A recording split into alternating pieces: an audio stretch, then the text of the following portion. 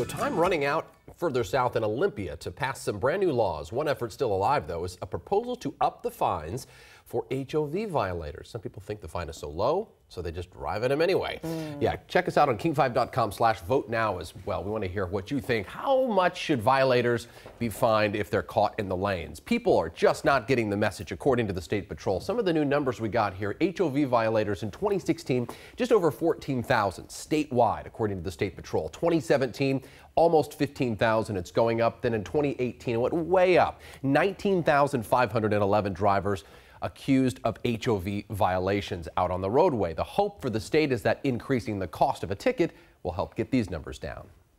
I can see a little face. Another day on the job for State Trooper Heather Axman. It's eyes on the road and eyes on the car next to her. It's not a passing lane. It's not a general purpose lane. Here she thinks she spotted a single driver breaking the law by driving in the high occupancy vehicle lane. I believe there's a kid in the back. There's a mirror that's facing the car seat. Over the years, she's had more than a few violators and more than a few laughs involving drivers doing everything they can to cheat the system. They'll put mannequin or the baby doll. Their creativity is pretty funny to me. Um, I still give them a ticket and I try to take a picture of it.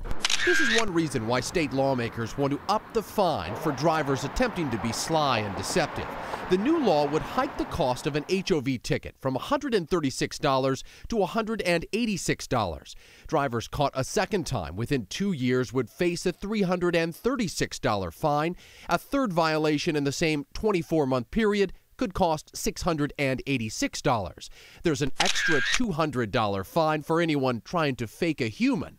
Drivers doing the right thing think it's a good idea. It is very frustrating seeing that, especially if I'm part of the HOV and I have other people in the car. On the on ramps going onto the freeway, it's like way easier. The hope for lawmakers like Bill's sponsor, Senator Marko Liias, is that the increased fine will be a deterrent. We definitely won't be the most expensive states for these tickets. I think a couple other states have higher penalties. Um, but we definitely want to send the message that people need to follow the rules or pay the penalty. But will the fine be a deterrent enough? I've gotten those kind of drivers where they say, oh, it's about time I got caught. This is exactly what I do every single day. It's a step in a new direction, best avoided by refusing at all to be a traffic dummy. There's some creative commuters out there, I will say that.